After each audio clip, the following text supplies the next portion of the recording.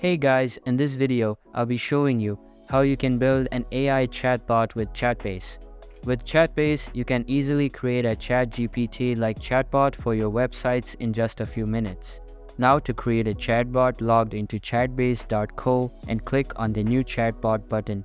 It will show the options to train the chatbot from various data sources.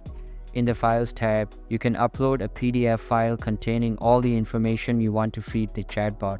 In the Text tab, you can copy and paste the data. In the Website tab, you can just type in or paste the website URL and it will fetch all the links from the website. You can also feed the data in Q&A format. You can keep on adding the questions and the responses here. And if you want, you can link your Notion account to Chatbase just to import the data more easily. Now just for a demo, I will copy the web address of Designrr, which is an ebook creator website. I'll paste the URL here and click on Fetch Links. It will take a few minutes to crawl the website.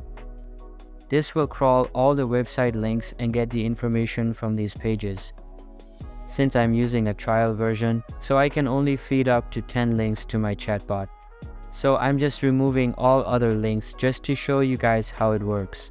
Alright, once it is done, you can hit on create chatbot and in a few minutes your chatbot is trained and ready to take questions.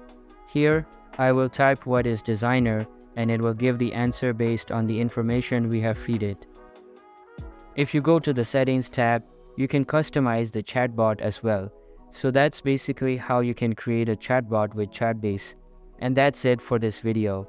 If you find it helpful, consider subscribing and giving this a big thumbs up. Thanks.